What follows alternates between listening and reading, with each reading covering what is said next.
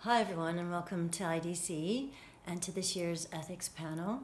I'm Alissa Antle from the School of Interactive Art and Technology at Simon Fraser University in Canada. The first question is What do children gain from benefiting in research, and what constitutes evidence of benefit? So, first, I think it's really important to say that we can't always tell what different children will take away. Different children take away different things. But what we can hope for, independent of whether our research is a success or not, is that children will be exposed to opportunities to be involved in the process of developing new technologies, working in a research study, and being engaged with researchers from a university environment. And we hope that that will be a positive learning opportunity, as well as give them a sense of agency and the ability to have impact in some small area of the world which is outside of possibly their everyday experience. I think the only way to be sure that there's benefit is actually to gather data as part of your study to assess this, even if it's not the focus of your study.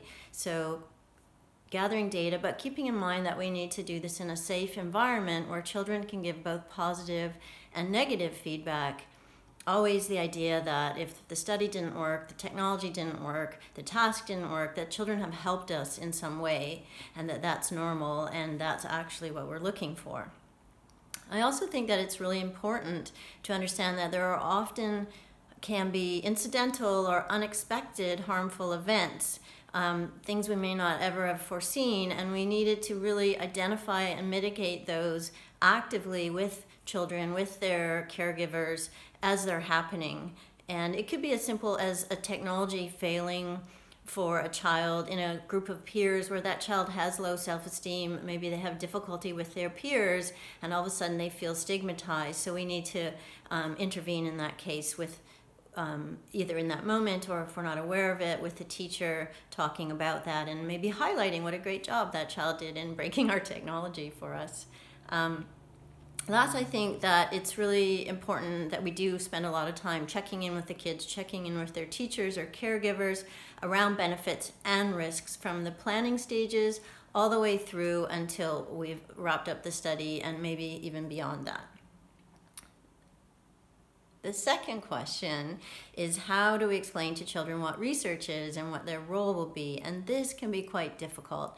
And in particular, I have faced this challenge when I'm working with children in populations that are not technologically literate, not yet scientifically literate, possibly don't speak English. So what we try to do in the language they understand is use very, very simple language and make analogies to their everyday life. For example, we say, might say we're trying to create a tool um, for them to use and that's not very easy. So we're using problem solving like when we do puzzles and because the children is for or because the tool is for children like them, we're wondering if they can help check if we've got it right.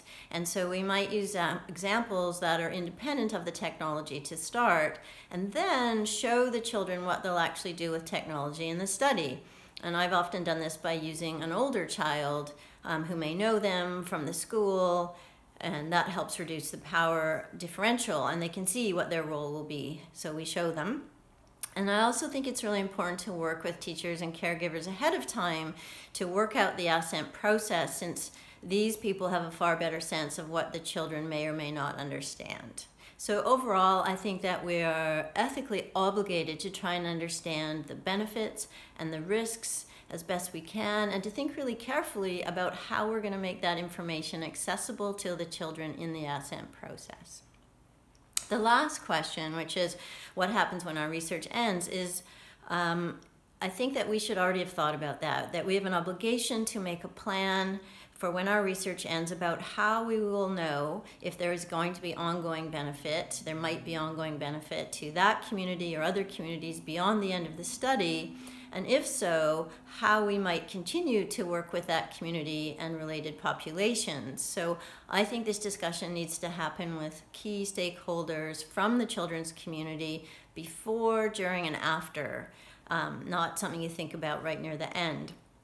So this can be really challenging. I'm not saying this is easy. It's particularly difficult in places where in studies where technology changes rapidly, where the availability of funding might change over time, where administrators change at research sites, where your job position might change, and when we work with communities that are not close by, that are not local to, to us, it can be very difficult, but we still have to do it.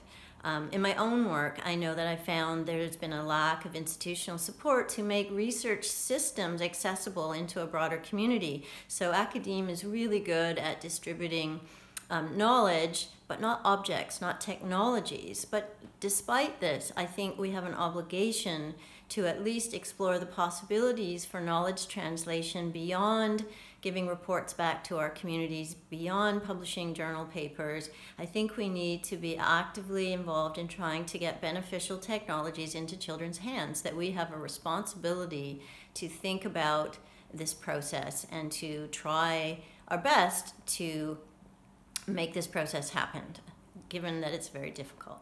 Thank you.